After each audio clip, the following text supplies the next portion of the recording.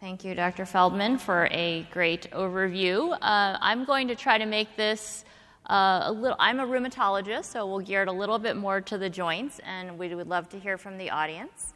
So I'm going to continue this conversation. Um, and what I wanted to do is uh, really to highlight uh, psoriatic arthritis in the sense that I think that it's probably um, a more common inflammatory arthritis than many of the rheumatologists um, believe in.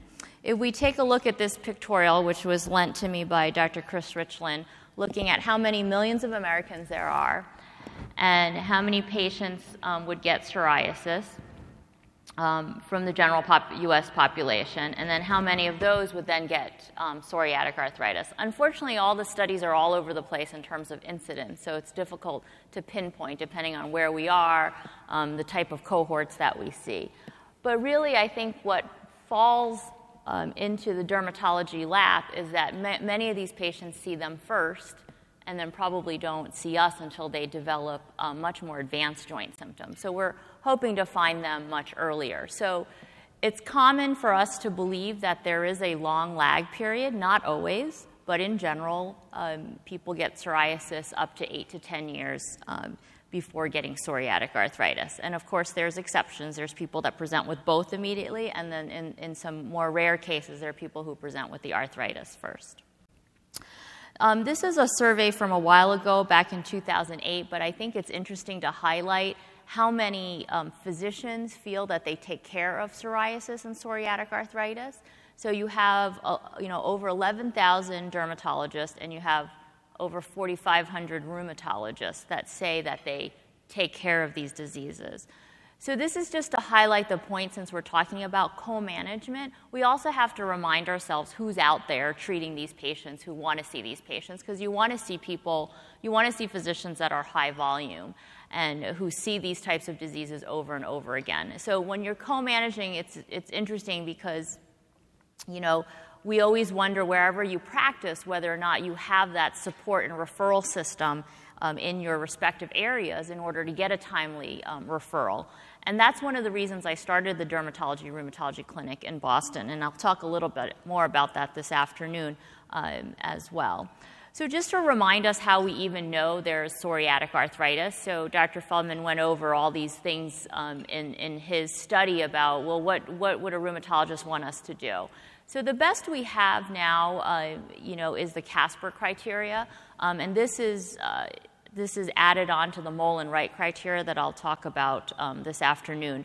But for, for the purpose of this talk, this is really um, used for clinical trials where we're trying to get a homogeneous group of people um, to fall into um, the criteria of psoriatic arthritis. So, in this particular criteria, if you look uh, at this chart, I know it's a little busy, but really just pay attention that if you do have uh, inflammatory arthritis, you need to collect greater than three points to fall into the bucket of psoriatic arthritis.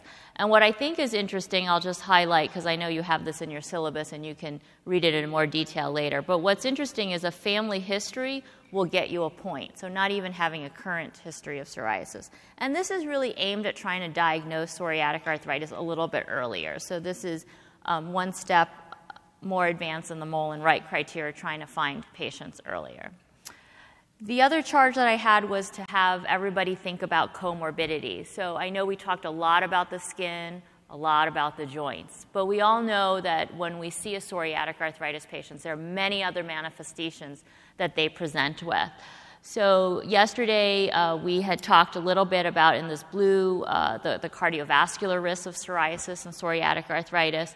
Uh, we also have a lot of um, the additional musculoskeletal symptoms, so it's not just joint but we're also looking at um, uh, other things such as uveitis, um, IBD involvement, and then the other thing is the enthesitis. So this is really important because enthesitis is very difficult. It's difficult even for rheumatologists um, to diagnose, and this is really inflammation um, at the synovial enthesial complex. So you have different enthesial pla- um, places um, that we all know, plantar fasciitis, Achilles tendonitis are the more common ones. And this really can be debilitating to our patients. um, and sometimes can be confused as joint swelling because they're in the areas around the joint, but it's really inflammation of the tendon um, that attaches to the bone. And Unfortunately, we don't have as good of metrics of looking at this, so most of the prior studies that you see on TNF aren't measuring enthesitis to the point that we want to. Now we have uh, three different validated measures that we're moving into that more the more current studies in TNF are now highlighting um, improvement in enthesitis as well as dactylitis. Cardiovascular, I know we went um, with uh, uh, Joel Gelfand, we went over a lot of this, but just to remind us that there are some cross sectional and prospective studies um, highlighting just on psoriatic arthritis and its cardiovascular comorbidities, all showing that there's an increased risk. Um, and just to remind us that there are no prospective studies that I can tell you, but these are looking um, back um, at, um, at cohorts and following them um, cross sectionally, but not necessarily following them for decades forward. The other uh, comorbidities that we need to think about, we talked a little bit about uveitis. Um, I know we're going to have a talk by um, uh, Lisa Gredinetti on um, inflammatory bowel disease um, tomorrow and highlighting that there's a lot of subclinical disease as well that's out there. Um, most of the inflammatory arthritis are also associated with an accelerated form of osteo um, uh, porosis, um, and you know screening with DEXAs are important in our patients. And then there's a whole area of, of, malignancy that I don't have time to go into in terms of whether it's some of the drugs that we use, whether it's uncontrolled systemic inflammation that's associated with um, some of the risk for solid um, malignancies and other um, tumors, and then the area of skin cancer risk and any of their prior risk factors that put them at risk um, for any of these skin cancers. So this is a uh, pictorial that I use a lot um, in, in talking to my uh, trainees in, a, in a derm rheum clinic, just to, just to emphasize that it comes in many different flavors. And yes, there are many patients that seem um, obvious if the joints are more predominant, that a rheumatologist might take a lead in that. If the skin is more predominant, we could see the dermatologist taking a lead on that. And then we also know that patients, where, when they present, they also will go through different phases. So in a couple years, they might get their dactylitis, and they might not have it at the beginning. And their dactylitis might be in their their toes and they won't be able to do their job and to work. So, so as we know, these, these boxes can shift within a patient, uh, but I think it highlights the complexity of why co-management is needed in many times is because patients may jump from box to box. Patients may feel that their symptoms are um, accelerating in different areas. And I think there is a great need to uh, communicate with your um, other discipline um, in order to really improve the outcomes of, of our patients. These are treatment guidelines, really just uh, here to highlight um, the subgroups. Uh, so, as opposed to some of the other inflammatory diseases that I care for, this really has a much more heterogeneity to its disease process, meaning that any of these subgroups can become more predominant at any time. And, it, and as you can see, the treatments differ a little bit, although the biologic um, TNF inhibitors do affect um, all of these but you can see that other treatments, depending on which subgroup is predominant, you might be able to make treatment choices um, based on that. Our landscape is also changing. We're having more and more drugs that are in our toolbox um, that we didn't have. Our uh, you know, newest is apremilast that was out in uh, March of this year for psoriatic arthritis. Uh, we do have um, you know, oral DMARDs, as we talked about, methotrexate. Many of this is borrowed from the rheumatoid arthritis literature. So, in terms of me being able to show you data specifically on, on, methotre- on uh, methotrexate and psoriatic arthritis are limited, but we do have some. Um, I'm just highlighting certolizumab because that just uh, had an indication for psoriatic arthritis, arthritis recently. Uh, and then we have IL 1223, ustekinumab, um, that also just recently got approval for psoriatic arthritis. This is uh, from the, uh, uh the UK. This is a uh, treatment algorithm that I just wanted to uh, bring to your attention. So, what this was was an update from the 2005 UK recommendations. And basically, at that time, TNF was not um, approved for psoriatic arthritis, so it wasn't in their guideline indications. So, they decided to update this just last year. so, Dr. Coates' team wanted to look at what is the current evidence of how you should assess joints. Um, and then, most importantly, is to really look at these two buckets the predominant axial disease and the predominant peripheral disease that people with psoriatic arthritis can present with. And based on that subgroup, um, what kind of uh, treatment algorithms um, that, that we look at. So, I, I think this is just um, here just to, to, highlight the, the subgroup effects of our patients. Um, it's not necessarily the only recipe that we would follow in inpatient care itself. If we look at TNF therapy, um, this is just, I know it's hard to really um, compare uh, studies across, and we really shouldn't do that because each population is very different. But what I do want to bring to your attention is the difference in the skin and the joints. So, this first set of bars are what we commonly use in rheumatology, which is the ACR 20, 50, and 70. So, these are phase three trials with all the different um, anti TNFs. And then, what do you, how do people think that skin might compare across the board? Better, about the same, worse? Any guesses? Think the skin improves more, about the same? So, just looking at it uh, globally, these are the PASI scores. So, you see that the PASI scores are um, a little bit better. And of course, you can't really compare between, but I think it's just interesting to look at uh, skin versus joint as a whole. So, moving on to other treatments, ustekinumab is uh, one of our newer for psoriatic arthritis. I know many people in the dermatology world have a lot more experience than um, we do in rheumatology because this is just newly approved um, for us.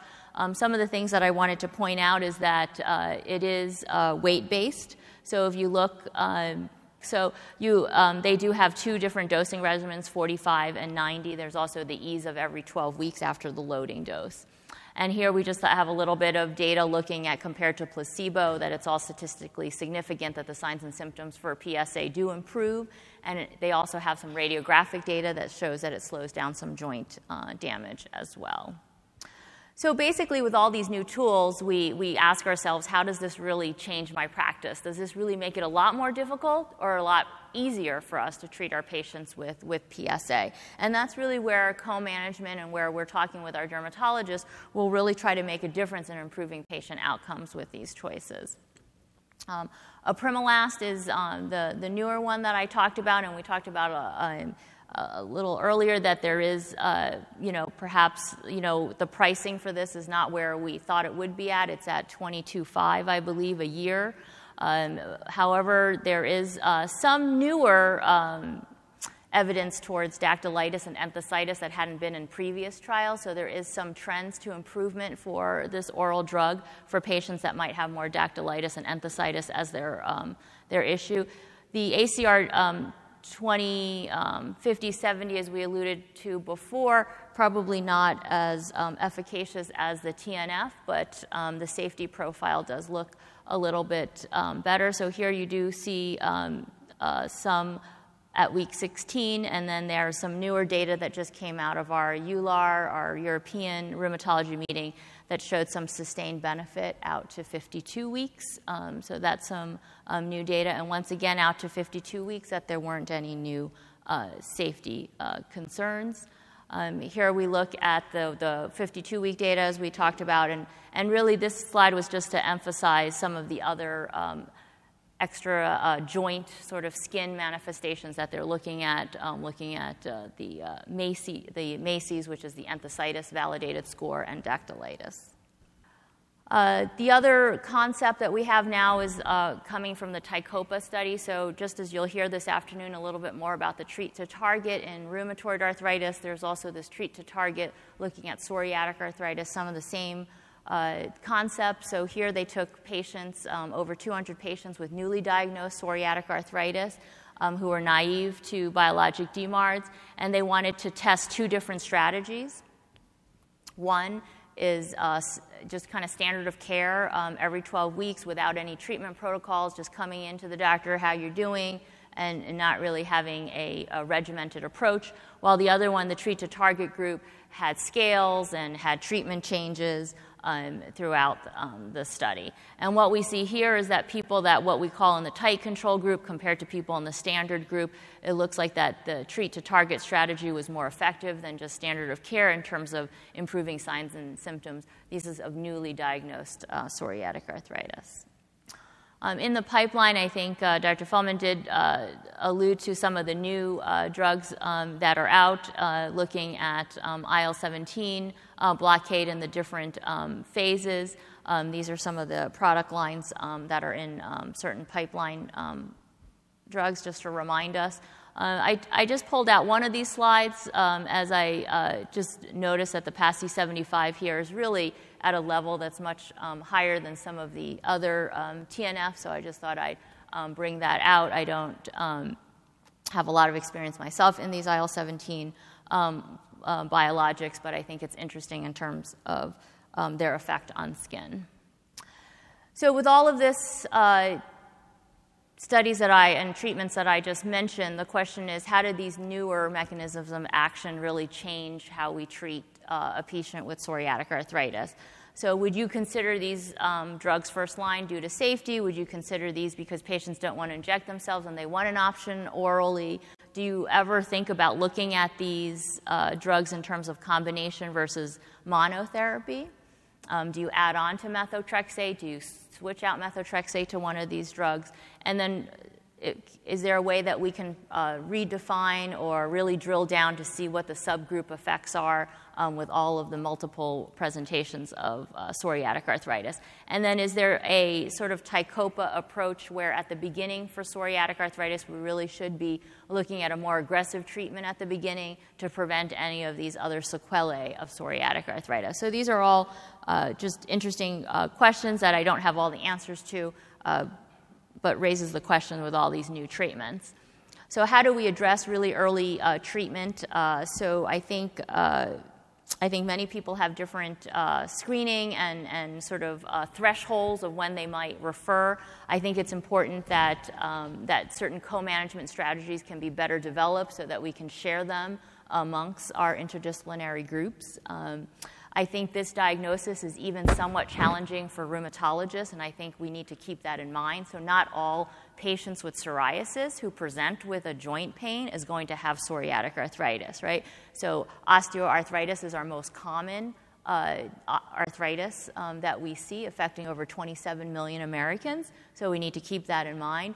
There's also crystalline diseases, gout, pseudo gout, uh, and then there's also non articular uh, manifestations of things um, more in the chronic pain, such as fibromyalgia, that could also play a role. So I, I, do think it's even challenging for a rheumatologist. So it's not so simple that we can really just tell our colleagues, our PCPs, our orthopedists, and our dermatologists if your joint looks like that, it's psoriatic arthritis, you should start this, or you should refer to us immediately. So I think there's some complexities that are there.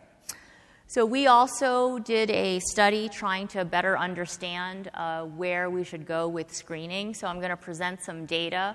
Um, when I started the first uh, dermatology rheumatology clinic, I worked with Dr. Qureshi um, in Boston, and we actually trained together as a uh, we trained together as uh, residents. And the reason that we started a derm rheum clinic wasn't so much to be innovative as it was just to help patient care. So what would happen is I would call Derm and they would offer me an appointment like in 2015. And he would call rheumatology and they would offer an appointment like nine months down the road. And so it just, it, so what happened was we became referring to each other because it just got easier and we got our patients in sooner. And then within uh, six to nine months, we developed the first sort of dermatology rheumatology clinic when we graduated from our respective residency programs and um, as staff. And so, what we decided to do is really take a look at our first 100 patients that came in the door with musculoskeletal pain and psoriasis. Now, remember, at this time, I was fresh out of residency of rheumatology uh, fellowship and him out of dermatology resident and we were cheerleading for ourselves like come on send us patients. We really want to make this um, cross-disciplinary clinic work. And what happened uh, was that we had really well-meaning um, colleagues of ours that was um, sending patients with psoriasis and musculoskeletal pain and they all kind of thought in the back of minds, oh, this is definitely psoriatic arthritis, but we're going to give it to this cross disciplinary clinic. So, this is how the pie chart looked in the 100 patients that came through. And this started out as one of my fellows projects until I graduated. And so, what was interesting is that what I mentioned that story is that these are my colleagues that are sending that are in academic practices who have a lot of experience in um, psoriasis and psoriatic arthritis. And of the people that came by, you see that only 41% actually um, had psoriatic arthritis at the end of the day. So it just highlights all the different um, aches and pains that people can have and what actually um, happens um, in the real world. So this was all validated again by a separate um, dermatologist and a separate rheumatologist with x-rays and skin exams um, looking to, to see what the, and, and following some CASPAR criteria, which ones actually had psoriatic arthritis based on the referral. So, based on that, a couple years later, we developed something called the PASE questionnaire. And this is uh, something that uh, we felt um, could help highlight screening procedures to make it easier for dermatologists. So, these are not necessarily validated in primary care offices, but our, our sole purpose was to really help the dermatologist. So, we know everybody has high demands on their time. So, we decided to really sort of take the physician out of the picture and we've concentrated on the patient because we figured what the patient could tell us would be helpful. So you have seven um, questions based on their symptoms and eight questions um, based on their function. And if you scored over uh, higher, then uh, this takes about maybe a couple minutes to do in the um, in the waiting room or while they're waiting to get changed to see or after your MA sees them.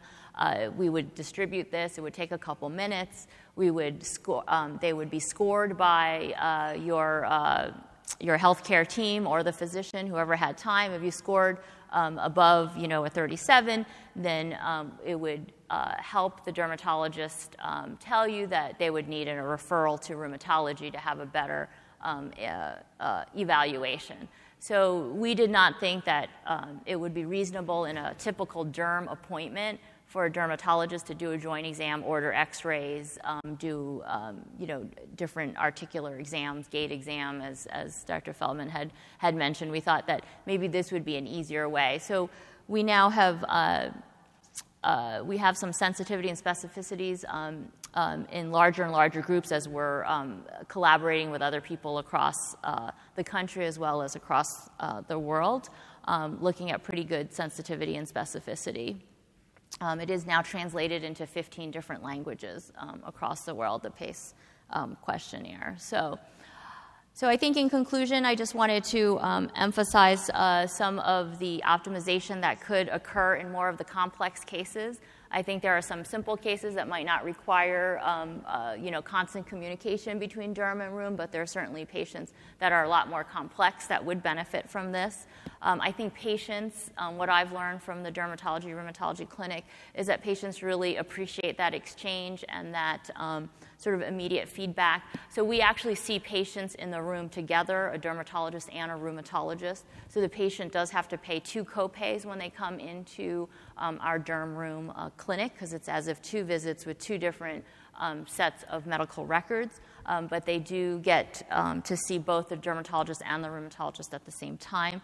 It really fosters different areas of, of collaboration um, between uh, dermatology and rheumatologists, hearing different thoughts about how we screen for other things, whether it be uh, uh, liver biopsies and methotrexate, malignancy screening, vaccinations, and it could go on and on.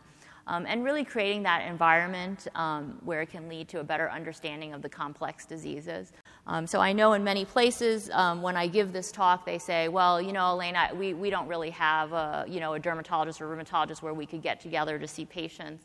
Um, and so, what I say to that is that yes, you might not have a physical space where you can see patients together, but you can certainly develop a relationship with one or two uh, you know, rheumatologist or dermatologist in your area. And I think what's important is to really just kind of like to pick up the phone and talk to your fellow colleague. I know that sounds really simple, but I think when you pick up only when you're desperate because there's a hot swollen joint or only desperate when there's you know 90% covered skin area and you say I need to see this patient in now is probably not the best way to um, be the first time to interact with your colleagues, right? So the, the best time is really when you have some time to think and that you can pick up the phone and talk to them. And over time, I think many of these co-management issues are going to be the same whether or not you have this great physical space to see with each other or whether you're just across town and you develop a relationship over the phone.